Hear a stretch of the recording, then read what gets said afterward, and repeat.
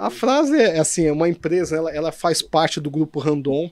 Ah. É uma empresa que o, o grupo Rondon tem, tem um controle é, e ela tem uma característica diferente, né? Um setor, né? Um, é um setor que, né? É, as empresas típicas, né? Tem uma, uma venda, né? Uma participação de venda para montadora geralmente maior do que o, o mercado secundário. A Frasle é o oposto, ela, ela tem 85% da, da, da receita dela é para o mercado secundário, né? Mercado secundário é oficina, né? Mecânico.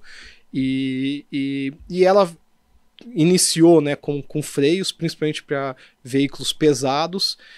É, mas ela vem ao longo dos últimos 5, 6 anos fazendo um, um, programa de aquisição bastante bem sucedido, né? Ela fez é, uma aquisição a Fremax, foi muito bem sucedida. Talvez a aquisição mais transformacional foi a Nakata, que ela comprou uma empresa de mercado de reposição, né?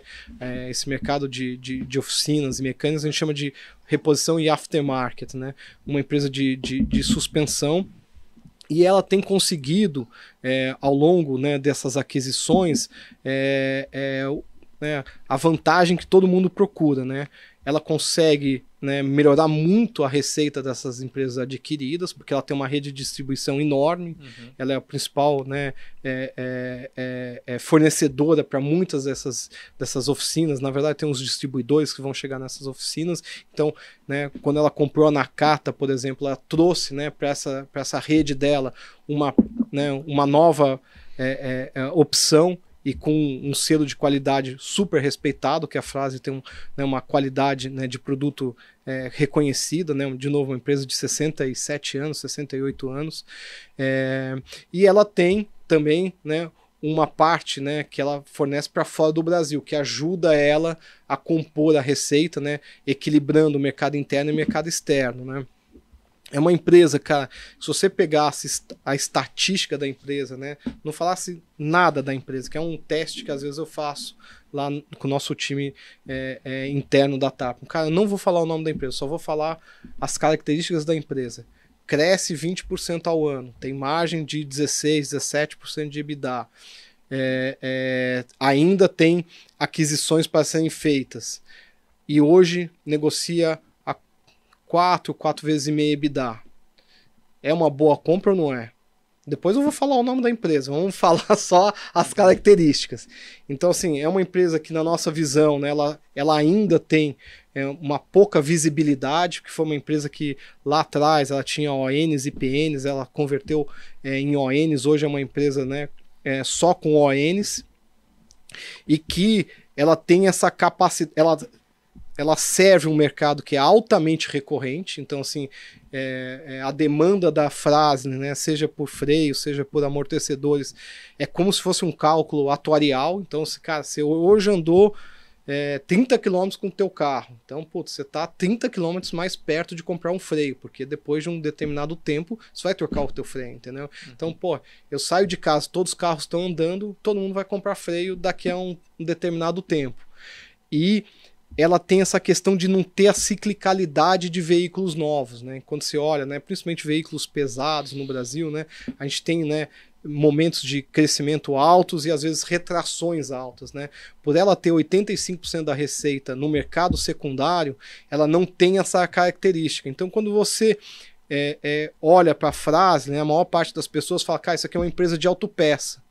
Pô, ela produz freio, ela produz né, amortecedor. Só que, cara, o, a característica da demanda dela e o produto que ela, que ela, que ela tem, né, que é principalmente né, produtos de segurança, fazem com que ela, na verdade, seja um, um quase um bem de consumo essencial.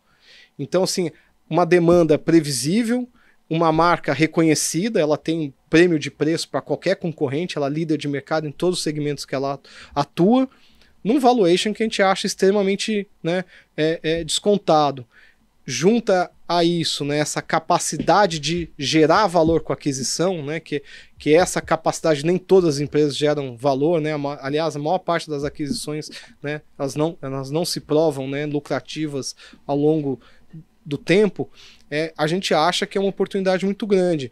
É, hoje, né, a empresa tem uma liquidez mais restrita, a gente, é, ela fez um follow-on no ano passado até para ter essa capacidade de continuar o programa de aquisição. É, e eu penso né, que a maior parte né, é, dos investidores ainda está olhando para a Flasli com um certo viés de autopeça, mas é, ela produz autopeça, mas é uma autopeça que não é para mercado primário, é para mercado secundário e com uma, um, um, componente né, de, de, de, de, compulsoriedade, se a gente pode, se é que pode falar assim, muito grande. Então, é um dos cases que a gente tem, né, que a gente entende que está mais contado, uma empresa, um, um, dos testes que a gente faz, né, lá na Tarpa é a idade da empresa, né? Pô, já viu 67 anos de Brasil, 68 anos de Brasil, já viu Collor, já viu Sarney, já viu Figueiredo, o cara já viu, e tá lá, produzindo, ampliando a, a capacidade. Então, é, ela recentemente, né, uma das aquisições, a Fremax, né, ela começou a fornecer para um, um distribuidor grande nos Estados Unidos.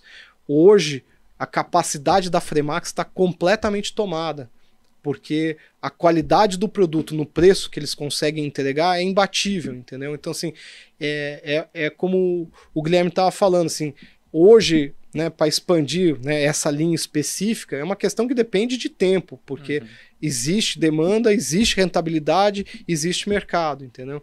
Então a gente acha assim uma empresa pouco conhecida, é um pouco do risco do autopeças, né, tem muito a ver com a questão da eletrificação do, do, do, dos veículos, apesar né, de né, a eletrificação aqui no Brasil a gente achar que vai levar muito mais tempo, eventualmente, né, essa questão do híbrido com etanol, né, tem uma qualidade né, de, de emissão né, é, é até né, em alguns testes melhor do que o carro elétrico. Uhum.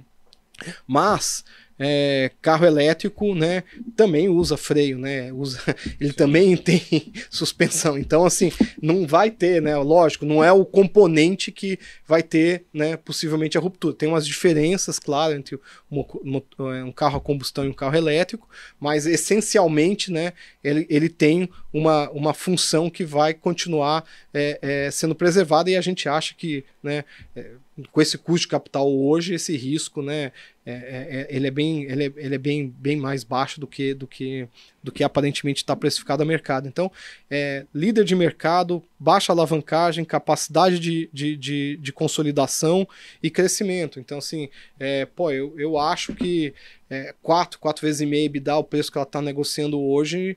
Né, se, não, né, se fosse uma, uma large cap, eu tenho certeza que não estaria, entendeu? Uhum. Mas eu acho que leva um certo tempo. Esse ano, eu acho que a empresa deve é, chegar em aproximadamente aí 600 milhões de EBITDA, então uma empresa que já começa a ter né, um, um tamanho maior, né, uma escala maior, e a gente, enquanto isso, estamos assim, é, enquanto o mercado ainda não, não, não acompanha ou não conhece tão bem, ela, nesse primeiro trimestre, deu o melhor resultado da história. Então, assim, pô, num ambiente completamente desafiado, num ambiente, assim, né, ultra contra-intuitivo. Então, sim. assim, o carrego dessa ação a gente entende que é muito bom, porque ela cresceu ano passado aproximadamente 15, 16% esse ano de EBITDA. Esse ano a gente acha que ela deve crescer quase 20% de EBITDA.